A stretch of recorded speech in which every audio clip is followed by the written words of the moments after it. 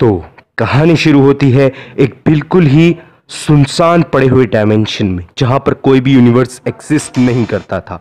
लेकिन वहाँ पर एक शिप आती है, जिस शिप का नाम है कॉन्टमिलियस शिप अब इस शिप के अंदर फाइव डायमेंशनल बींग्स थे, जिन्हें कहा जाता है कॉन्टमिलिया अब क्वांटमिलिया का क्या काम है? कि वो डायमेंशन डायमेंशन ट्रेवल करते हैं, और जिस डायमेंशन में यूनिवर्स नहीं होता, उसमें यूनिवर्स बना देते हैं, और जिस डायमेंशन में यूनिवर्स एग्जिस्ट करता है, और उन्हें वो यूनिवर्स पसंद नहीं आता है तो वो उस यूनिवर्स को डिस्ट्रॉय भी कर सकते हैं। इसकी मदद से अनायर लार्क। जी हाँ ये छोटी सी दिखने वाली चीज़, जो कि इतनी खतरनाक नहीं दिखती, लेकिन ये एक यूनिवर्स को डिस्ट्रॉय भी कर सकती है और एक यूनिवर्स को क्रिएट भी कर सकती है। तो एज ऑलवेज जैसे जो है क्वांटमिलिया यूनिवर्सेस बनाते, घूमते रहते हैं या डिस्ट्रॉय करते, घूमते रहते हैं तो वो इस डायमेंशन में भी आए थे यूनिवर्स को बनाने। क्वांटमिलियस की शिप पर एक चीज़ टेलीपोर्ट करके आती है और वो था एक क्रोनोसेपियन क्रोनोसेपियन एक स्पीशीज है एलियन की, जिसके पास टाइम पावर्स है। और इस क्रोनोसेपियन का नाम था मेल्ट्रेंट मतलब जो मेल्ट्रेंट था, वो टाइम में उस टाइम पर आया था जब यूनिवर्स की क्रिएशन नहीं हुई थी। तो मेल ट्रेंट यहाँ पर आया था, एक अन्नायर लार्क के साथ, जो कि उसने कस्टमाइज करके बनाया था उसके हिसाब से। और वो बिग बैंग करना चाहता था। अब बिग बैंग के बारे में तो तुम्हें पता ही होगा तो मेलविन उस टाइम में आया जब यूनिवर्स क्रिएट होने वाला था और वहाँ पे अपने कस्टमाइज अनायर लार्क से खुद का एक बिग बैंग करना चाहता था, जिससे उसका अपना यूनिवर्स बने और वो उस यूनिवर्स पे राज भी करे। तो यहाँ पर बेन और रुक भी टेलीपोर्ट होते हैं। मेल्ट्रेंट ने अपना बिग बैंग स्टार्ट करा, लेकिन बेन ने अपने सारे एलियंस की पावर से उस बिग बैंग को रिवर्स करके उल्टा मेलवेयर पे ही उसको फेंक डाला। और मेलवेयर के टुकड़े टुकड़े हो गए और वो टाइम लूप्स में फंस गया और वो बार बार ये चीज़ को दोहराता रहेगा। यानी कि वो बार बार बिग बैंग करने की कोशिश करेगा और बार बार मरता रहेगा।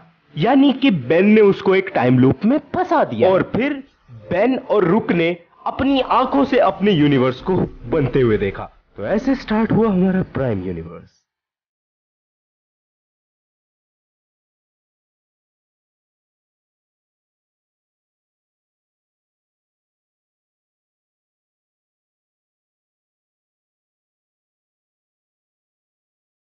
स्लाइम बियॉन्ड्स जो कि यूनिवर्स में घूमते हैं डीएनए को कलेक्ट करते हैं मिक्स करते हैं और कुछ स्पीशीज को भी बनाते हैं। यानी कि अब की जो ज़्यादातर स्पीशीज है बेंटेन यूनिवर्स की, वो इन्होंने ही बनाई है।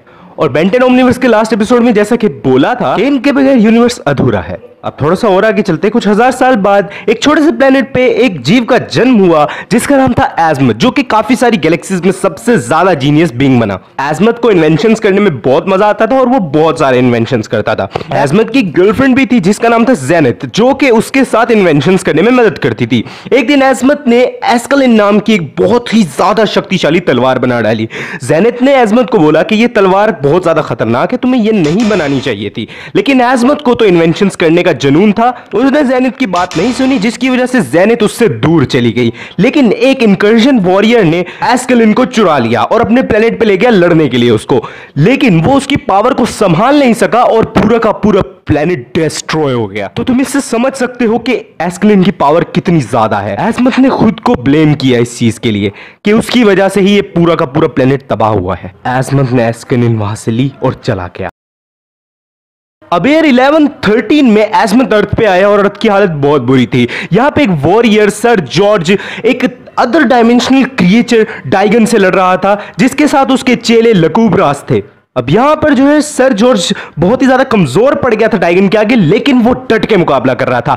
एजमत ये देखते हुए सर जॉर्ज के पास आया और एजमत ने सर जॉर्ज को एस्कलिन ऑफ़र करी। सर जॉर्ज ने उसे एक्सेप्ट करा और जैसे ही एस्कलिन को हाथों में पकड़ा, मानो उसके अंदर इतनी ताकत आ गई कि उसने एक झटके के अंदर डाइगन के हार्ट को उसके जिसम से अलग कर दिया।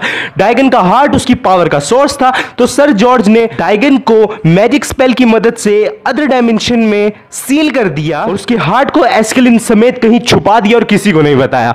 फिर आगे चलकर सर जॉर्ज ने फॉर एवर नाइट्स को बनाया। अर्थ की हिफाजत के लिए और डाइगन के दूसरे हमले के लिए। उसे पता था कि डाइगन दूसरी बार आएगा और जब वो दूसरी बार आएगा तो मैं उसे जड़ से मिटा दूँगा। और ये करके वो वहाँ से चले गए, बिना कुछ कहे।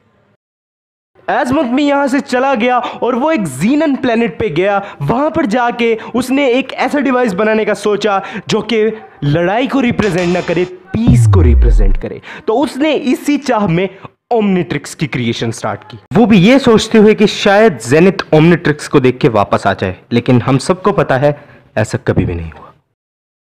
ओमनीट्रिक्स एक ऐसा डिवाइस है जो कि अपने यूज़र को अनगिनत एलियन स्पीशीज में ट्रांसफॉर्म कर सकता है। अब चलो थोड़ा सा और आगे चलते हैं। तो 1770 में जॉर्ज वॉशिंगटन जा रहे थे कुछ इन्वेस्टिगेट करने। और वो एक सीक्रेट ऑर्गेनाइजेशन के अंदर काम कर रहे थे जो कि अर्थ पे हुई अजीबो गरीब र्यूमर्स के बारे में इन्वेस्टिगेट करते थे। यहाँ पे टाइम होल में से मेल्ट्रेंट निकलता है और ये वो टाइम था जब बेन और मेल्ट्रेंट टाइम फ़ील्ड में लड़ रहे थे और बेन ने मेल्ट्रेंट की शिप पे हमला करके उसे खराब कर दिया था। मेल्ट्रेंट विलगैक्स को यहाँ पे बुलाता है। और यंग विलगैक्स इस टाइम पे लोगों की मदद करता, घूमता था स्पेस में, लेकिन बदले में उनसे कुछ भारी मुनाफा ले जाता था।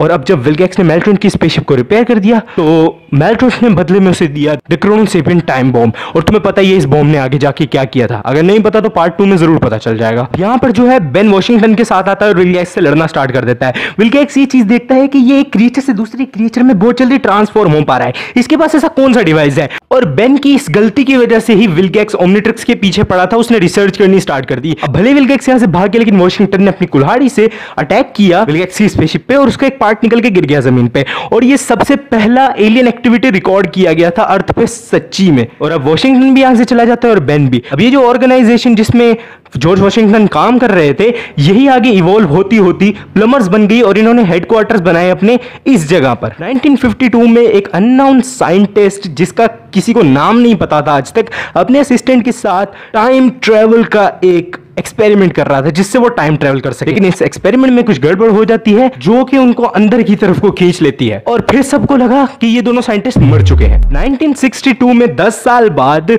मैक्स टेनिसन, जो कि मिलिट्री का एक एयरफोर्स पायलट था, उसने एक एनर्जी बींग को बचाया, जिसका नाम था विडोना जिसके पीछे एक रोबोट पड़ा था, जो कि उसे एज अ बैटरी यूज़ करना चाह रहा था अपने लिए। लेकिन मैक्स ने उसे बचाया, और फिर दोनों में प्यार हुआ, और आगे उनकी फैमिली भी बढ़ी। और यहाँ पर एक प्लम्बर मैजिस्टर लैबरेट आया, जिसने मैक्स टेनिसन को ऑफ़र की कि तुम प्लम्बर्स को ज्वाइन कर लो। और हाँ मैक्स टेनिसन ने प्लम्बर्स को ज्वाइन भी किया, आगे जाके बहुत ही बड़े बड़े कारनामे किए, काफ़ी सारे अपने पार्टनर्स के साथ, लेकिन उनमें से एक जो उसका सबसे क्लोज पार्टनर था, जिसका नाम था था डेविन लेविन जो कि एक ऑस्मोसियन था। उसने मैक्स के लिए अपनी लाइफ को सेक्रीफाइस कर दी। और उसने बोला मैक्स को कि मेरे बेटे का ध्यान रखना। अब 2000 में हमें जानने को मिलता है कि बेटा कौन था और वो था केविन इलेवन जो कि एक ऑस्मोसियन ही था और वो किसी भी तरह के मटेरियल को एब्जॉर्ब कर सकता था और उसे उसकी पावर्स यूज़ करनी नहीं आती थी। उसने गलती से अपना पूरा का पूरा घर उड़ा दिया और उसे घर से निकाल दिया गया। अब 2006 में एसमन ने प्रोटोटाइप ओमनिट्रिक्स को कंप्लीट कर लिया और अपनी एक असिस्टेंट जाइलिन को ओमनिट्रिक्स दे दिया। उसे बोला कि सबसे ज़्यादा काबिल प्लमर को ये ओमनिट्रिक्स पहुँचा दो। अब जब जाइलिन जा रही थी ओमनिट्रिक्स देने तो विलगैक्स की स्पेसशिप पीछे से आ जाती है, जिसने काफ़ी साल तक इस रिसर्च की उसे ओमनिट्रिक्स के बारे में पता चला। अब यहाँ पे उन दोनों की स्पेसशिप में फाइट होती है, लेकिन विलगैक्स अपनी लेजर बीम उस पर शूट करता है, जिसकी वजह से जाइलिन की स्पेसशिप क्रैश हो जाती है, लेकिन वो विलगैक्स पे भी बहुत गंदा इफ़ेक्ट करती है। वो काफ़ी ज़्यादा इंजर्ड हो जाता है, और वो अपनी ही कैप्सूल में आराम करने लग जाता है, जब तक वो पूरा रिपेयर नहीं हो जाता। जाइलिन जो है उसने ओमनिट्रिक्स के डीएनए मैक्स के डीएनए पे सेट कर दिया था कि ये उसके पास खुद ही चला जाए और वो ज़मीन में जाके गड़ गई और वहाँ पे काफ़ी टाइम तक दफन रही। अब उधर दूसरी तरफ़ मैक्स टेनिसन जो कि रिटायर हो चुका था, रस बकेट में रहता था, अपने ग्रैंड चिल्ड्रंस के साथ जा रहा था एक ट्रिप पे। दस साल का एन टेनिसन दस साल की ग्वेन टेनिसन तो बस, अभी के लिए इतना ही। भाई, मैं आगे नहीं तुम्हें बता रहा स्टोरी तो इस वीडियो को बनाने में इतनी मेहनत लगी है कि तुम सोच नहीं सकते हो यार। पूरा हफ़्ता लगा इसको एडिट करने में। तो प्लीज़ एक लाइक कर दो चैनल पे नए हो तो सब्सक्राइब करके बेल आइकन ऑल पे सेट करो ताकि तुम पार्ट टू भी देख सको। पार्ट टू जल्दी आने की मैं पूरी कोशिश करूँगा कि जल्दी से जल्दी आए, लेकिन हाँ टाइम तो लगेगा रे बाबा। तो प्लीज़ सब्सक्राइब करके बेल आइकन दबा लो। बाकी अगर मेरी बाकी वीडियोस देखनी है तो डिस्क्रिप्शन में लिंक है, तुम मेरा चैनल भी चेकआउट कर सकते हो तो गया भाई, बहुत मेहनत लगी इस वीडियो को बनाने में। प्लीज़ लाइक शेयर सब्सक्राइब सब करो। बाय